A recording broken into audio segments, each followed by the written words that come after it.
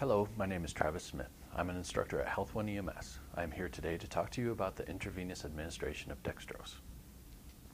The administration of intravenous dextrose is one of the most common skills performed in the world of pre-hospital medicine. IV dextrose has the potential to quickly improve a patient's condition. Local protocols require medical direction contact before an EMT can administer dextrose. Once the order from the physician has been received, you can move on to the next step. As you can see, we have two types of dextrose concentrations. The 50% concentration is prescribed for adults, while the 25% is for 1 to 6 year olds. The indications for administering dextrose are hypoglycemia, an unconscious patient due to an unknown etiology, non-traumatic seizures, and a glucometer reading below 70 milligrams per deciliter. Always consider the patient's clinical presentation and history before administering any medication. As with all medications, we have to ensure patient safety by checking the five rights before administration. The five rights are the right patient, the right medication, the right dosage and concentration, right time, and right route. The right patient is generally straightforward in EMS, but can get complicated with multiple patients. The right medication is dextrose. The right dose depends on the age of the patient. Because of the chemical makeup of dextrose, you have to be very careful with IV administration. If the vein you are using to administer dextrose infiltrates, you can cause significant tissue damage and necrosis. Also, you cannot administer this medication if the patient is suffering a seizure due to trauma there is questionable benefit to providing IV dextrose in patients suffering a stroke.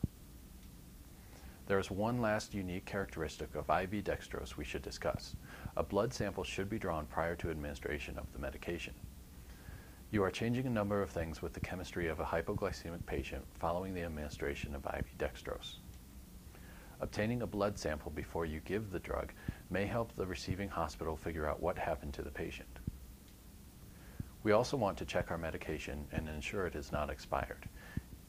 It is the proper concentration and dose, and it is not cloudy or discolored.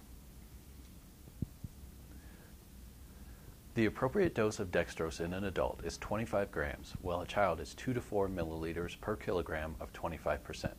An infant is 2 to 4 milliliters per kilogram of 10% dextrose. Prior to administering any medication, we instruct the patient about the medication's effects. We also find out if they have any allergies. This may be difficult in the unconscious patient. Try looking for a medical alert bracelet or ask bystanders and family members. Check your IV administration set. Make sure it is running without issue and the IV site is patent. Attach the vial to the closest IV port and begin to slowly push the drug.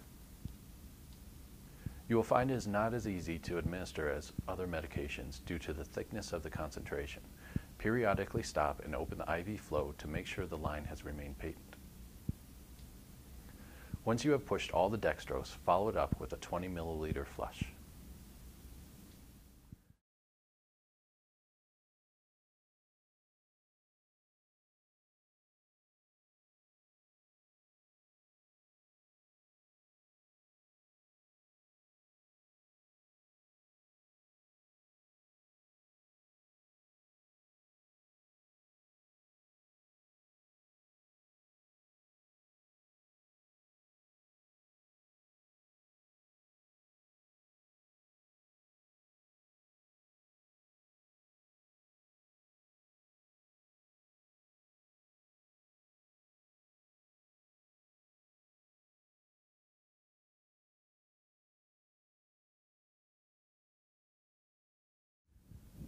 Dispose of the vial in a sharps container.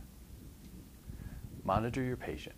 They should regain consciousness or have a noticeable improvement within just a few minutes. Some systems may allow you to repeat a dose of dextrose if needed. Your patient may improve to the point where they do not want to be transported. This will require discussion with your online medical direction and a discussion with your patient for ongoing care. Whether you transport the patient or not, you need to continuously reassess and make treatment decisions while looking for adverse side effects. Documentation is the final step. You need to accurately document why the drug was used, when it was used, the amount administered, and the result. Also include the physician who gave you the order.